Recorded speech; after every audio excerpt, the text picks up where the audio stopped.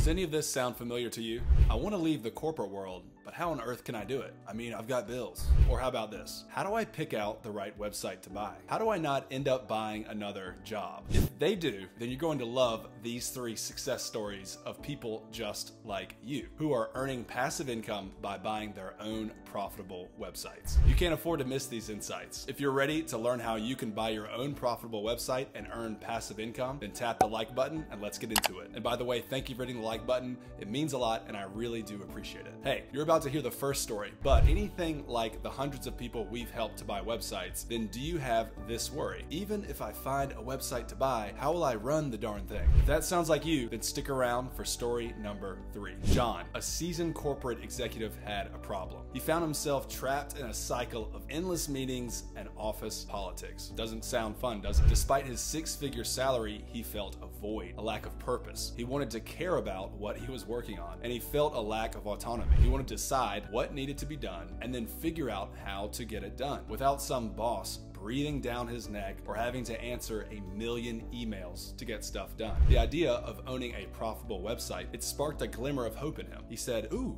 Maybe this will give me income and more purpose and more autonomy. However, John's journey was fraught with obstacles. John's lack of technical skills made the online world seem daunting. Didn't John need to be a tech wizard to own a website, right? He'd face skepticism from peers who couldn't understand why he would leave a stable job for the uncertainties of online business. Didn't John have to quit his job and then go find an online business to buy? Well, no. John did not have to quit his job to buy an online business. In fact, he did the less less risky thing and stuck with his job, kept earning and saving, and a few mornings a week he'd go shopping for online businesses. He'd look at the businesses, identify the risks, and he learned so much about business in the process. There were moments of doubt when he questioned his decision. Never find a solid business at a reasonable price. But John had grit and patience. He tackled his knowledge gaps head on, dedicating evenings and weekends to doing due diligence on online businesses. Along the way, he learned about SEO, content marketing, and website management. He sought guidance from mentors who had walked the path before him, absorbing their wisdom and experiences. By the way, if you're interested in hearing more about this success story, then go to our podcast. It's on YouTube, on Spotify, all over the place. It's episode 231. The turning point came when John found a mentor who had successfully transitioned from a corporate job to an online business owner. This mentor provided not just technical guidance, but also emotional support, helping John navigate the ups and downs of his journey. John's persistence paid off off when he acquired a content based membership site in a niche he knew nothing about. Yet another challenge. His initial challenge was in understanding the community and the content that resonated with them. However, did John quit there? Nope. He actively engaged with his audience and used their feedback to improve the site. John slowly turned the site into a thriving community with a big email list and a very engaged Facebook group. Today, John's online business not only provides him with a passive income, but also a sense of fulfillment and purpose and autonomy. More money, more control, less emails. His story is a reminder that with resilience and a willingness to learn and a blueprint to follow from a mentor, it's actually possible to break free from the corporate corporate world and find success in the online realm. That was John's story, a table of courage, or a tale, I should say, of courage and transformation from the corporate grind to the freedom of online business. We'll get back to the next story in a second, but I wanted to ask you, which one of these stories sticks out to you? Do you relate to anything in these stories? Why? Let me know what you think in the comments below. Sarah, a nurse, had always been passionate about holistic health. She dreamt of reaching a wider audience, but she felt constrained by the traditional healthcare system. She was frustrated because she felt limited. She could only help one patient at a time. She could only work so many hours before getting tired. She's a human. I mean, she's not a robot, she's a person. So, to make it all real frustrating for Sarah, whenever she had a new idea, there was all this paperwork at the hospital she had to fill out just to get approval for her new idea. By the way, if you want to hear more about this particular success story, check out our podcast. It's episode 214. So, anyway, back to our story. So, Sarah, on her days off from nursing, found a blueprint for doing due diligence. And that gave her a repeatable process, a checklist to inspect websites to buy. She found her website at a reasonable level of risk and a fair price, and she bought it. Buying an online blog was her outlet, a way to share her knowledge and connect with others who shared her values. However, the online space was crowded, and Sarah struggled to stand out. She faced the challenge of building trust in an industry riddled with misinformation and lies and all kinds of crazy stuff. So, there were moments of frustration when her content didn't reach the audience she hoped for, and doubts crept in about whether her voice mattered in the vast online world. But Sarah stayed true to her vision to have an impact for her audience. She kept thinking about them and less about herself. She focused on creating content that was not only informative, but also deeply personal to her. She shared her own health struggles and triumphs, making her audience feel seen and understood. And this authenticity resonated with her readers, who began to see her not just as an expert, but as a friend and even an ally. Sarah's breakthrough came when she launched a series of online courses that combined her professional knowledge with her personal experiences. How did she make her courses? Well, she did a couple things. She noted what her best performing content was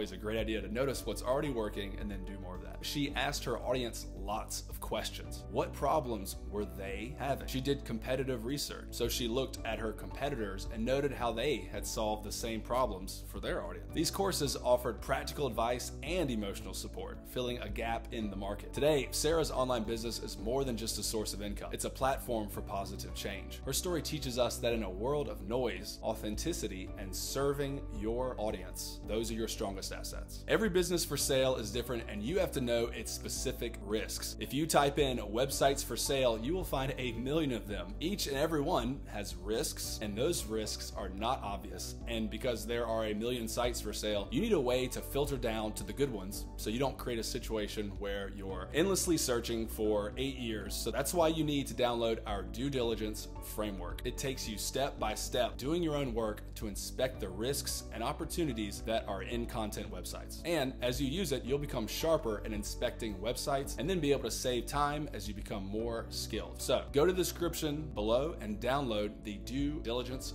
framework. Lastly, let's dive into the story of Mike and Alex, two friends who turned a passion for personal finance into a thriving online business. At first, they tried to start a blog. Two years later, they still didn't have any traction, almost no traffic, and they'd used up thousands of hours and thousands of dollars. What a waste. Then they saw a YouTube video about buying blogs. What a concept. They could skip the failure part and buy something that was already working. Just an aside here, if you want to hear more about this particular success story, if you want a real deep deep dive, then check out podcast episode 259. They bought a simple blog in the finance space. From it, they share tips and insights on budgeting and investing. But as their audience grew, so did the challenges. They faced the daunting task of consistently producing high quality content while also learning the ropes of SEO and affiliate marketing. The turning point came when they realized they couldn't do it all alone. They began to delegate tasks, hiring writers and a virtual assistant to help manage their growing workload. This freed them up to focus on strategy and growth. But scaling their business wasn't just about hiring help. Mike and Alex had to learn to let go of control, which can be incredibly difficult for many of us. They had to let go of control. They had to trust their team to maintain the quality and integrity of their content. Now, they didn't just let go of the steering wheel, however. They took things one step at a time. They were creating detailed SOPs, which are standard operating procedures for their freelancers, and reviewed their work and gave them feedback so that they could slowly transfer responsibility to their team. They also had to navigate the complexities of monetization, finding a balance between earning revenue, which is important, and providing value to their readers, which is also important. Like they tested out different levels of advertisements on their site. They tested different affiliates and different numbers of affiliated articles each month. Because uh, as an aside, you don't want to just jam pack your website with tons of affiliate articles if it's not serving your audience. So keep that in mind. Back to Mike and Alex. Mike and Alex also believe in group learning. So they joined a mastermind. It was a group of website owners where Mike and Alex, they asked questions, they made new friendships with guys facing the same challenges as them. Their strategic approach paid off. Their blog evolved into a comprehensive resource for their audience, offering courses and a membership program that provided both passive income and a deeper connection with their audience. Mike and Alex's story is a testament to the power of teamwork and strategic thinking in building a successful online business. It shows that with the right mindset and approach, even a small blog can grow into a thriving. These stories of John, Sarah, Mike, and Alex are not just tales of success. They are parables of perseverance, authenticity, and strategic growth. They remind us that the path to passive income success is paved with challenges. You will have challenges. Don't be surprised there. But with resilience, getting clarity from experts, and a willingness to learn and adapt to work, it's a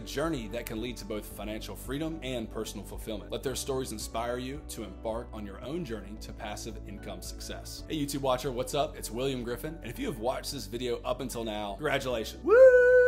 Please smash that like button. I'm glad you're liking the video. Also, thank you so much for watching, and I hope you're doing really, really well. Also, want to ask you, please consider subscribing because my commitment and exploration on YouTube is about to blow up with more stories for you, polls for you, more amazing content, more engagement between us, more surprise and delight. This is the time to subscribe. I hope you consider it, and I hope I see you on the next video.